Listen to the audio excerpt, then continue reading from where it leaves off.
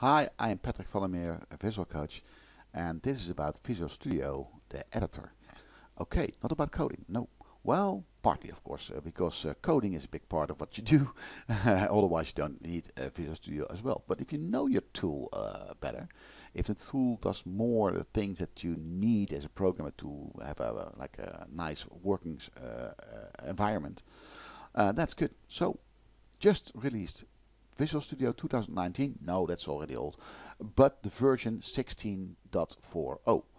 Um, and they made a new button in the visual editor. Okay, and what does the button do? Well, it makes it possible to split the visual editor, the oh, let's not let's not dock it, uh, and the uh, the uh, uh XAML that belongs to it, and the code behind file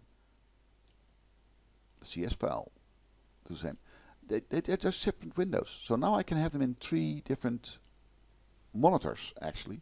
Two upright in portrait and one, that would be this one, in uh, landscape. Actually my monitors all can turn so I can play with that.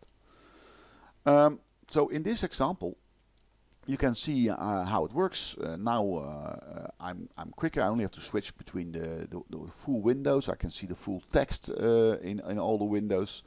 And let's say I make a tap event uh, in a button, or I change the button.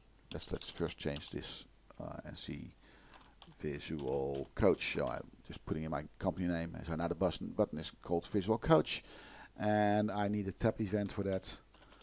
Um, and when I double tap it it immediately makes a the new event over here and I can type right away so in the different monitor. So I can see what actually happens when I change the XAML code as well in the code behind as well in the visual editor. That's awesome. So how does it work in Visual Studio? So when you open Visual Studio uh, and you open one of your files let's say we take uh, this file and I want to have uh, normally uh, a, a, change in the um, in the XAML designer. I can do it like this. Um, this is the normal window, but now when I click this little button over here, pop out XAML, then it pops out the XAML. So does it really change this other window? So I can just put them in, in here as well. Eh? Does it change this window? No, uh, it is actually only closing this window, so it's just resizing it. But it makes it now possible for me to, to put it all different monitors and that's the fun thing of it.